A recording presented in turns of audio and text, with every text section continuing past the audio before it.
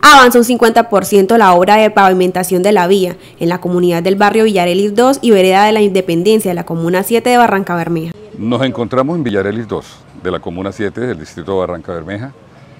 eh, en compañía del señor alcalde y de la comunidad, de los ediles, de los presidentes de junta y de toda la comunidad para hacer un seguimiento a esta obra que se está desarrollando, importantísima para toda la economía y para toda la movilidad en este sector tan importante de la ciudad. El trabajo consiste en la recuperación del tramo vial en su totalidad, cambio de estructura de piso y pavimento en concreto rígido, con todo lo que tiene que ver con las redes de eh, manejo de agua y lluvia. El mejoramiento de esta vía será de gran ayuda, ya que favorece a la población estudiantil, adulto mayor y vehículos que se veían perjudicados por el mal estado que se encontraba esta. Bueno, esto es una lucha que ha venido, eh, digamos, guerreada por 20 años por diferentes líderes y hoy, gracias a Dios, eh, ha sido un hecho.